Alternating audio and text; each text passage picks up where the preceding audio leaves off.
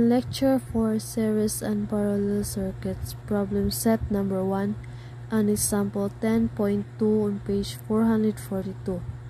So the equivalent resistance, current, and power in a series circuit. A battery with a terminal voltage of 9 V is connected to a circuit consisting of 4, 29, and 110 resistors all in series in figure 10.13. Assume the battery has negligible internal resistance. So, A. Calculate the equivalent resistance of the circuit. And for the B, calculate the current through each resistor. And C. Calculate the potential drop across each resistor. Then for the letter B, determine the total power dissipated by the reason resistors and the power supplied by the battery. So in the A, calculate the equivalent resistance is the algebraic sum of the resistance, which is the Rx equals to R1 plus R2 plus the R3 plus R4 and the plus R5 is equals to 20 resistors plus 20 resistor of plus 20 resistor plus 20 is plus 20 plus is equals to 90 so the current the through the circuit is the same for the each resistor in a series circuit. So it equal to the applied voltage which is divided by the equivalent resistance. So I is equals to V over X equals to then 9V over 90 resistors equals to 0 0.1 A so the power dissipated by a resistor is equals to P. P1 is equals to P2 and P3 is equals to P4 and equals of 0 0.1 A squared times 20 resistors was to 0 0.2 watts then for the P5 is equals to 0 0.1 A squared then 3 is equals to 0 0.1 watts so P dissipated is equals to 0 0.2 watts plus 0 0.2 watts plus 0 0.2 watts plus 0 0.2 0 0.2 watts then plus for the 0.1 watts is equals to 0.9 watts.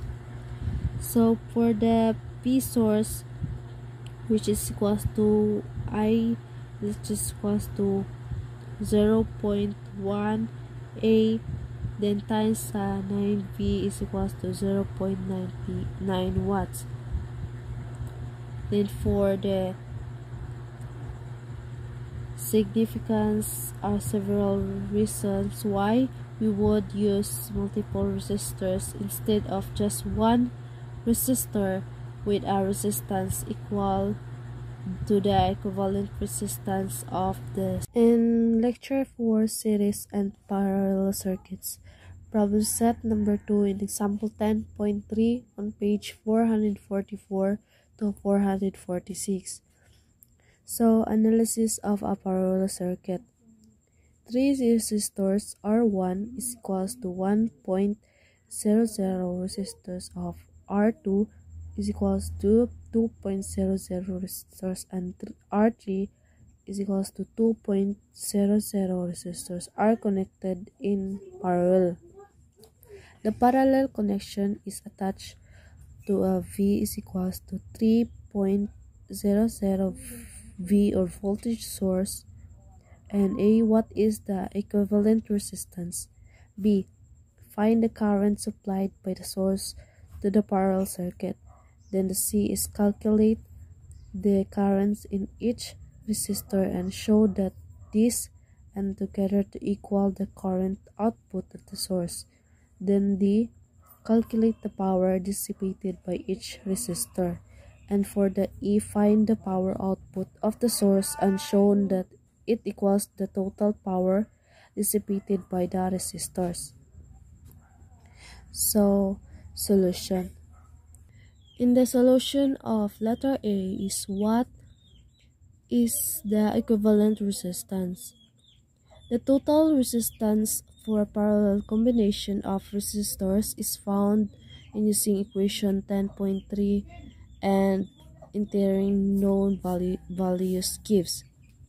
So, equals to 1 over R1 plus 1 over R2 plus 1 over R3 to the power of negative 1 is equals to 1 over the value of 1 point the value of R1 is 1.00 resistor plus 1 over the value of R2 is 2.00 resistance then plus 1 over 2.00 to the power of negative 1 is equals to 0.50 resistors. So the total resistance with the correct number of the significance digits is R equals to 0.50 resistors. As a predicted is less than the smallest individual resistance. So in letter B, find the current supplied by the source to the parallel circuit. So I is equals to V over R is equals to 3.00 V over 0.50 resistors equals to 6.00 A. So, the total current can be found from Ohm's law substituting the R equals for the total resistance. So, for the C is the individual current are easily calculated from the Ohm's law since each resistor gets the full voltage. So I1 is equals to V over R1 is equals to 3.00 V. Then ang equivalent sa R1 is 1.00 resistor which is equals to 3.00 A. Then for the I2 equals to V over R2 is equals to 3.00 V over 2.00 so equals to 1.50 A. Then, ang 1 I3 is equals to V R3 equals to 6.00 V then over 2.00 resistor is equals to 1.50 A. Then for the letter D, the power dissipated by each resistor can be found using any of the equations. So, relating power to the current, voltage, and resistance. Since all the three are known, let us use P is equals to V squared IR. So, since each resistor gets full voltage, then ang PI is equals to V squared of, over R1 ang value sa V squared is 3.00 V squared over 1.00 resistors is equals to 9.00 watts. Then for the P2, P2 is equals to V2 over R2. Then ang value sa V2 is 3.00 V squared over 2.00 of resistor which is equals to 4.50 watts. Then for the P3, V2 over R3 is equals to 3.00 V squared over 2.00 resistors is equals to 4.50 watts. So in letter E, the total power can also be calculated in several ways. In choosing P is equals to IV and entering the total current yields. So P is equals to IV was 6.00 A which is the equivalent of I. Then for the V is 3.00 V which is equals to 18.00 watts. So the total power dissipated by the resistor is also 18.00 watts. So example 10.6 on page 459 to 461 on lecture 4 Kirchhoff's rule. So calculating current by using Kirchhoff's rule. Find the current flowing in the circuit in figure 10.29. So the solution. In applying the junction and loop rules yields the following three equations. So we have three num three unknowns. So three equations are required of junction C then I1 plus I2 is equals to I3. In the loop A, B, C, D, E, and F, A, I1 then ties to the R1 plus R 4 minus 2 the I2 then ang R2 plus R5 plus R6 is equals to V1 minus V3 in the loop of CD in EFC is I2 which is R2 plus R5 plus DR6 then plus siya sa 1, 3, and R3 equals to the V2 plus V3 then for the simplify the equation of placing the unknowns on one side of the equations the junction of C which is 1 I1 plus I2 minus I3 is equals to 0. Then for the loop of A, B, C, D, E, F, A, I1, and 3 resistor minus I2 of 8 is equals to 0 0.5 V minus 2.30 of V. Then for the loop of C, D, and F, C,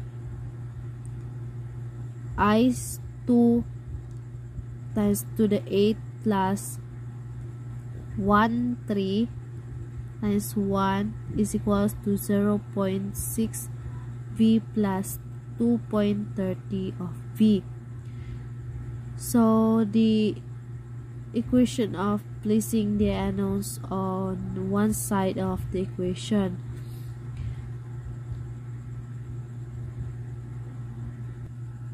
The first loop equation can be simplified by dividing the both sides by 3.00. So the second loop of equation can be simplified by dividing both sides of 6.00 so the junction here is C I1 plus I2 minus I3 is equal to 0 so the loop of A B C D E F A equals 1 over 1 and 3 minus 1 2 is 8 which is equals to negative 1.8 V. Then for the loop of C, D, and E, F, C, I2, which is 8 resistor plus I3 of 1 is equals to 2.9 of V. So the results are of the current flowing in circuit is I1 is equals to 0.20A and for the A I2 is equals to 0.30A and for the I3 is equals to 0.50A So in lecture 4, Kirchhoff's rule, example 10.7 on page 461 to 467. Calculating current by using Kirchhoff's rule. Find the current flowing in the current in figure 10.30. So the solution. Um, in applying the junction rule yields the following three equations. We have one unknown, so one equation is required. So in the loop A, B, C, D, A, then the negative 1R1 minus V1 and IR 2 plus V2 minus 1R IR 3 is equals to 0. Then uh, simplify the equations by placing the unknowns on one side of the equation. So the values given in the figure I R1 plus R2 plus R3 is equals to V2 minus of V1. So the I is equals to V2 minus Vi over the R1 plus R2 plus R3 equals to the value of V2 is 24 V then the value of the V1 minus 12V over the R1 is 10.0 plus ang R2 is 30.0 then ang R3 is 10.0 which is equals to 0.20a